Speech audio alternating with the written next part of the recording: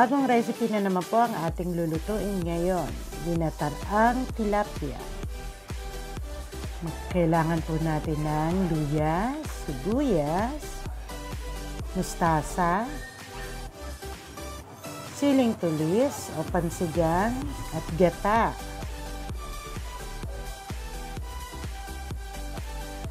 Ilagay po natin sa kawali ang tilapia.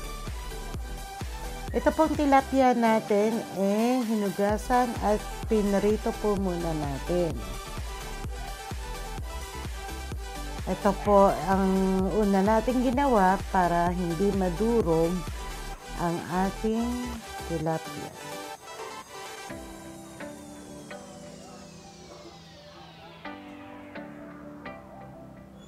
Yan, mapapansin nyo po, tatlong ulo, isang buntot.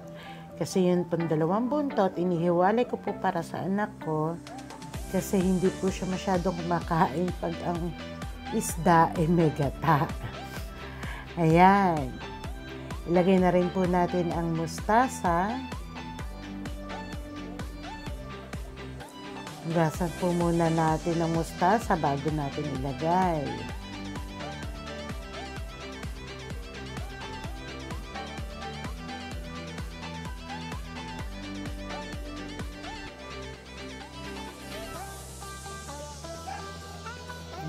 Po.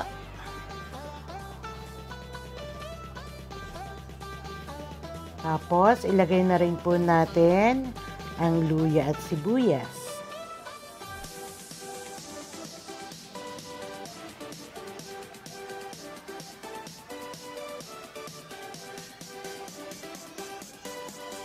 At ang dalawang siling tulis.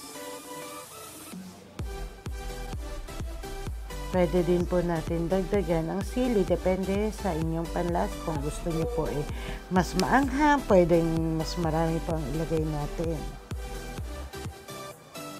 Buhos na rin po natin ang gata. Hindi na po natin ito lalagyan ng pangalawang gata kasi konting luto lang po ang ating gagawin since luto na yung tilapia.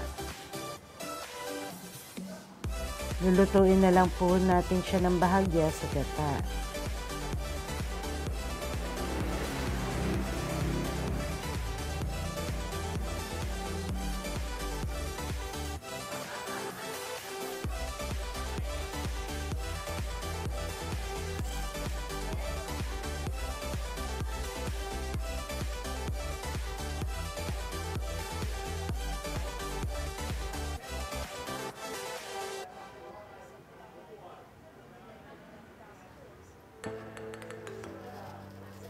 Pagkatapos po, lagyan na rin po natin ng paminta. Pamintang durog po or pino. At asin.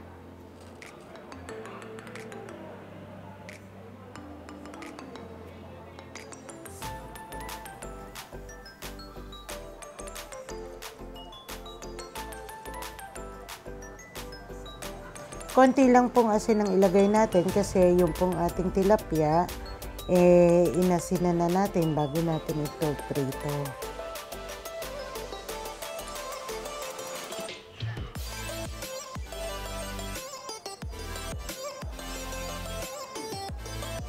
Ayan, pwede na po natin buksan yung kalan para maluto na.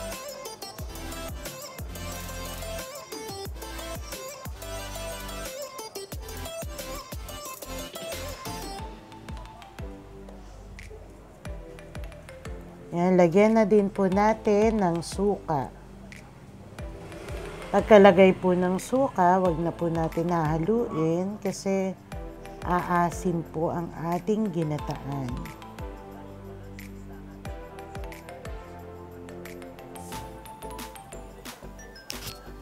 Hayaan lang po natin siyang kumulo.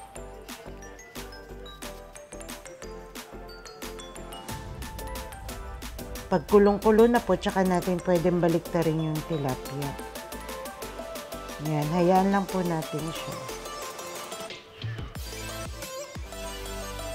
Yan, kumukulo na po.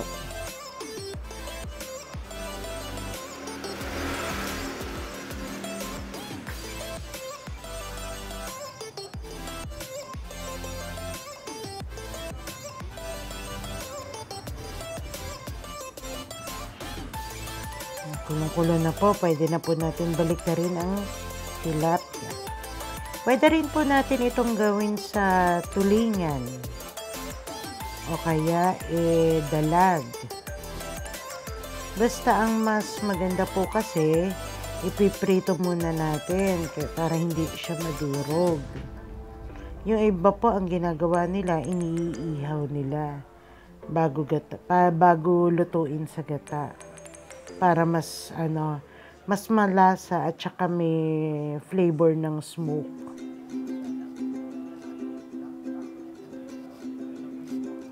Ayan, hayaan po natin kumulo-kulo muna.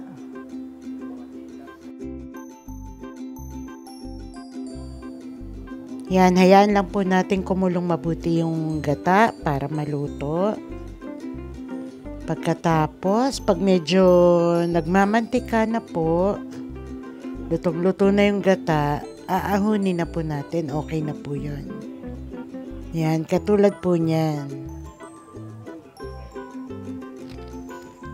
Kapit na kapit na po yung lasa niyan sa tilapia. At nagmamanti-mantika na po.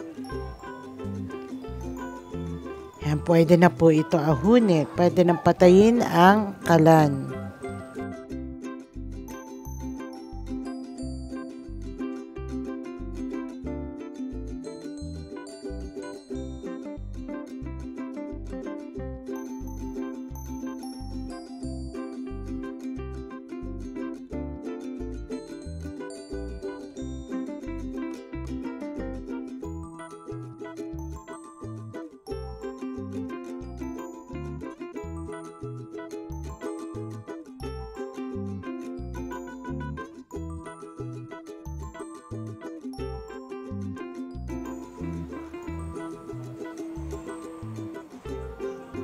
Yan, luto na po ang ating ginataang tilapia.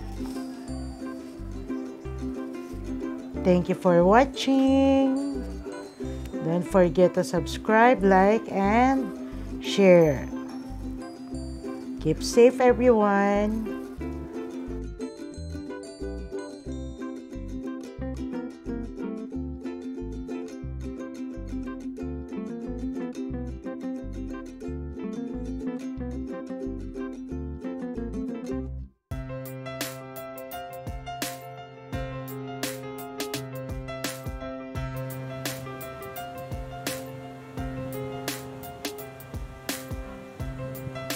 Para sa kumpletong ingredients po ng ating nilutong ginataang tilapia, ito po,